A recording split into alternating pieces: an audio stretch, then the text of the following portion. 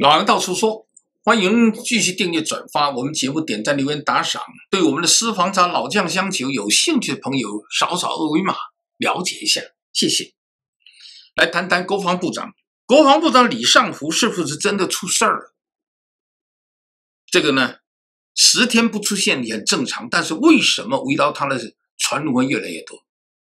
国防部长李尚福最后一次在公众面前露脸的是八月二十七号，在北京出席第三届中非和平安全论坛全体会发了讲话，并与部分出席的非洲国家的防务官员会面之后，他就不见了。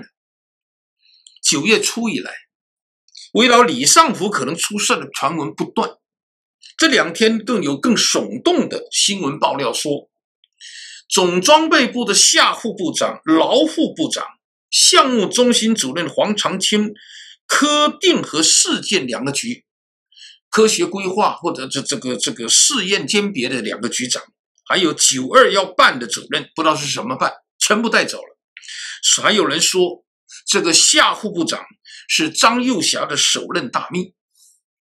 那么就总装备部的航天办公室主任呢，郝纯。也被带走，整个总装一个下午就带走了七个将领，两个副部长，五个局长，一个退休的，一共有七个将领。这个传闻说太不可思议了，认为这个消息准确度还比较高。还谈到一个退休的姚副部长住在原来的信息部、信息化部，也被抄家，但详情不详，详情不详。这种东西每天都有，但这一个呢，跟李尚福不见了十天呢，好像有点关系。因为李尚福担任国防部长之前，就是总装备部的部长。我们真的跟各位分享，没有办法从公开的信息获悉总装备部的人事名单，没有。所以呢，这个人事名单具体属于军事机密，加之这个传闻是绘声绘影。有名有姓，又说的那么具体详实，没有办法做出马上的确认，只能采取孤妄听之的态度。我们知道，现代战争的作战手段，现在的信息时代多了一项信息战认知战，针对某个领域做急速的信息投喂，造成某种强烈的印象或者某种错觉，达到混淆视听、干扰视线的目目标。这一点在俄乌战争爆发前后屡见不鲜，而且有很多成功的范例。各国的军方近些年也都增设了战略支援军种黑客部队，以适应现代战争、现代科技战争的形势变化。为什么人家会写悬疑小说？认为你这是搞悬疑小说？之前。秦刚的外长突然消失，在一个多月以后才爆出跟傅小田的绯闻有关，又辞去了外长的职务，但是还保留国务委员的职务。但基本上这位仁兄已经很难再有东山再起的可能了。那么秦刚消失的同时，也出现了火箭军高层将领突然异动的传闻。有八月一号前。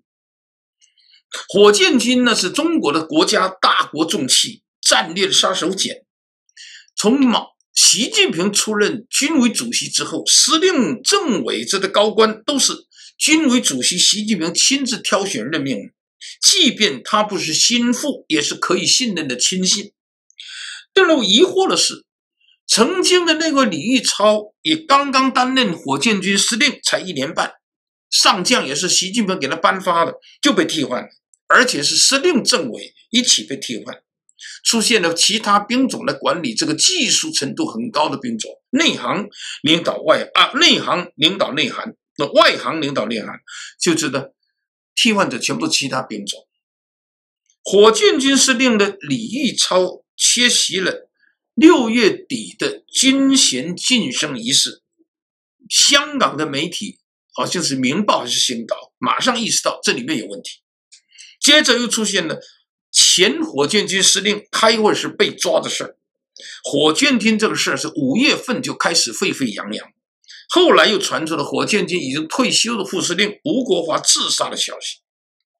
澎湃新闻也爆出了这七月十号因病医治无效逝世。三周之后出现的追悼会，包宝山而且呢，发这个消息就不见了，马上删掉。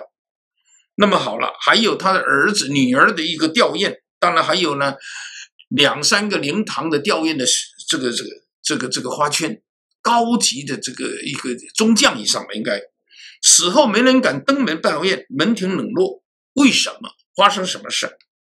那么说，他的老上级、前中央军委副主席张震的长子张小杨说，他是在他们家三楼的厕所上吊自杀了。什么原因导致他要自杀？为什么？他在任内做了什么？很多嫌疑。前任的国防部长傅永和也是出身火箭军。结果呢？卸任以后呢，没有再出现公众视野，也符合一般卸任的国防部长、卸任将领不再出现重点报道的人事的规则。但是火箭军高层好像几乎全一锅端，加上美国空军大学曾经详细披露火箭军的资讯事无巨细，连他养多少只狗军犬的数字，好像都被美方稀释掌握，是不是真的不知道？那引发了很多的猜测。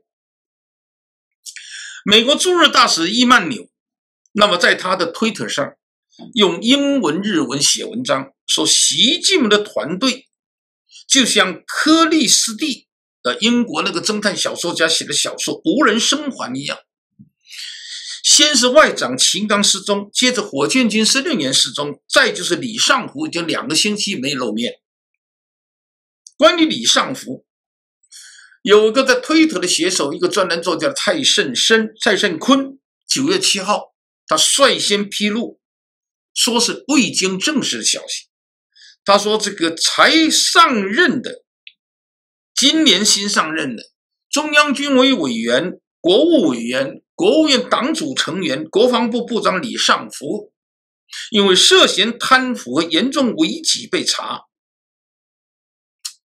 这个过去十年对党政军大员的清洗罪名都包括了轻贪腐和严重违纪，但是如果消息是属实的话，这就是这一届的班子啊，内国务呃副国级的外交部长秦刚不见了之后，又一个副国级的重要高官出事，他就把他想象说是这又是权力内斗，我不这么看啊。总而言之。这些高官，即便都是习近平亲自选拔、亲自部署、亲自挑选的高官，也可能随时面临被清洗、被调查。他说：“这个有点像毛泽东在文革时期，就整个当官现在的高危职业，没有一个人是安全的。”李尚福其实我觉得上任以后表现很多，出访的机会也不少。三月份上任之后，两度出访俄罗斯，跟普京见面。当然，也就是牵涉到国防部总装备部对俄罗斯方面的某种策应。当然，李尚福更有一个跟人家不一样，他是被美国制裁的高级将领。那是在总装备部的时候啊。李尚福是红二代，他是五八年出生，是老红军连的铁道部西南指挥部副司令员李少珠的儿子。那么他呢？这个李少，他父亲呢，也是个，也是个，是个，是个司令员啊，应该是正军级之类的司令员。而这个老兄，他长期在装备部门服役。八二年是从国防科技大学毕业，到西昌卫星发射中心工作。零三年担任了西昌发射中心的司令员，当了十年，指挥多次火箭发射任务。包括嫦娥什么二号几号都是他当总指挥。二零一四年呢，他是总装备部的副部长。二零一六年又是探月工程啊，诸如此类，担负的责任很重啊。那么这里面呢，特别是后来二零一六年就是中将啊，这载人航天工程的副总指挥。那么再来讲，二零一七年呢，就是总装备部部长。二二年二十大。当选的中央委员、中央军委委员，今年三月当选国家军委委员、国务委员、国务院党组成员、国防部部长。按理说都是副国级，如果真的出事，那就一年干掉了两个副国级。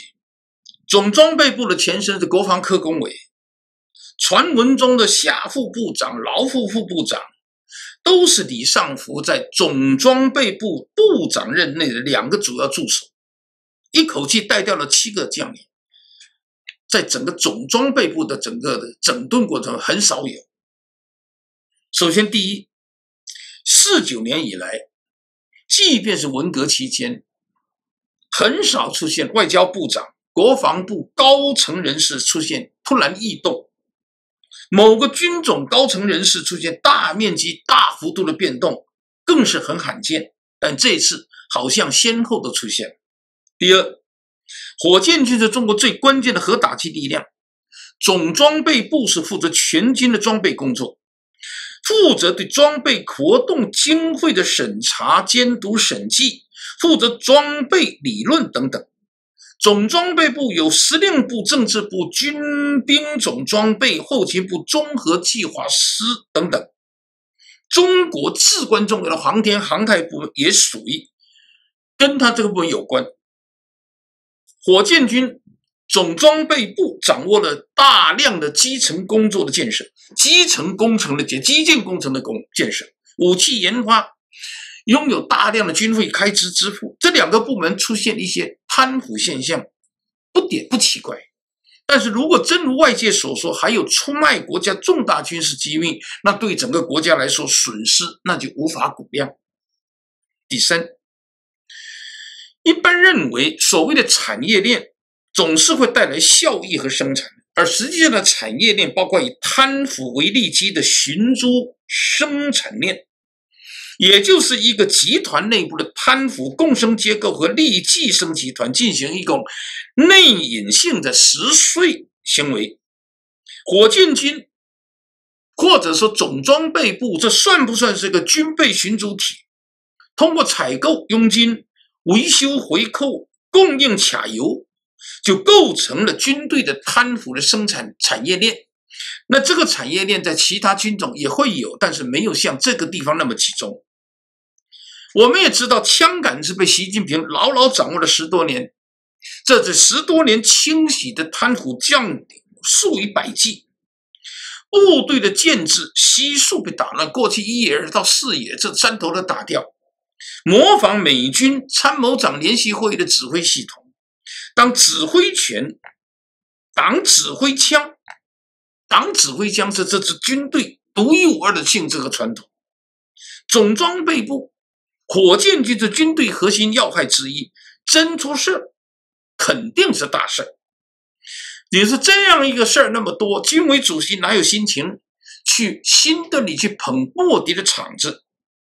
当然，如果传闻都是属实，这肯定是地动山摇的大事。能不能获得证实呢？九月底国庆招待会，谁出现？谁再也不会出现，可以一见分晓。老杨可以说，老杨到处说。